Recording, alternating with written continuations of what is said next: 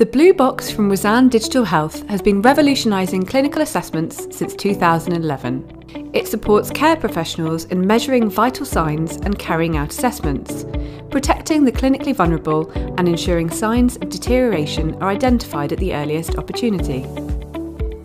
Adopted widely by the NHS, local authorities, and private care companies, Blue Boxes are currently monitoring tens of thousands of patients across thousands of care homes and hundreds of domiciliary care facilities and individual patient homes, all across the UK. The Blue Box can obtain a NEWS 2 score in less than two minutes, with readings automatically recorded in patient records meaning care staff can see more patients each day, spending more time with each one. This also provides peace of mind for clinicians, carers, and patients, giving them confidence in the key decisions they make.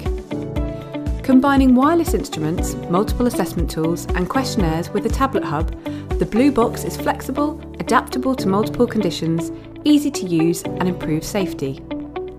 Data from the Blue Box links into electronic patient record systems, including out of hours 111 services.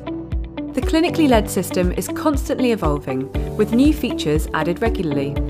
Version 3 of the system is now available, presenting faster data in a more graphical, comprehensive, and intuitive way.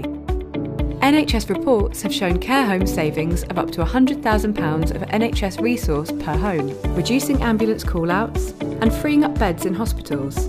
The Whzan Blue Box is low cost, infinitely adaptable, and delivering highly effective and proven digital care.